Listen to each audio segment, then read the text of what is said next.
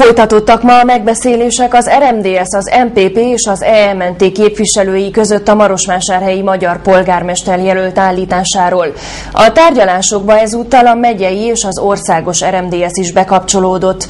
A jelölt személyéről még nem született döntés, de az RMDS és az EMNT képviselői is bizakodóan nyilatkoztak.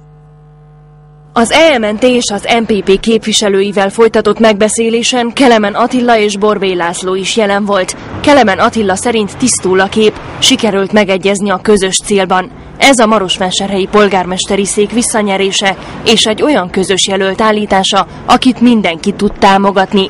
Több név is felmerült, az RMDS-en belül azonban előbb egy több lépcsős döntéshozatali eljárást kell lefolytatni. Első fokon a, a városi szervezet választmánya, utána az egész megyei szervezet kell erről döntsön, és kell jönni egy javaslattal az országos vezetőség felé, hiszen a szabályzat azt úgy rendelkezik, hogy a a, municipiumok esetében, és Marosvásárhely egy ilyen kiemelten fontos hely, mindenféleképpen a végső döntést vagy a rábólintást az országos vezetés kell megtegye.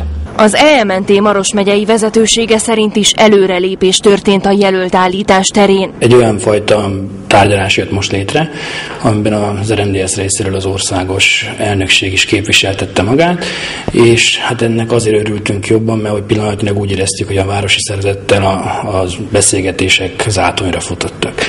Itt most viszont az nyert megerősítést, hogy a, a cél az közös. Konkrét nevet Portik Vilmos sem említett, a pénteki tárgyalás után azonban abban reménykednek, hogy felgyorsul a jelölt állítási folyamat.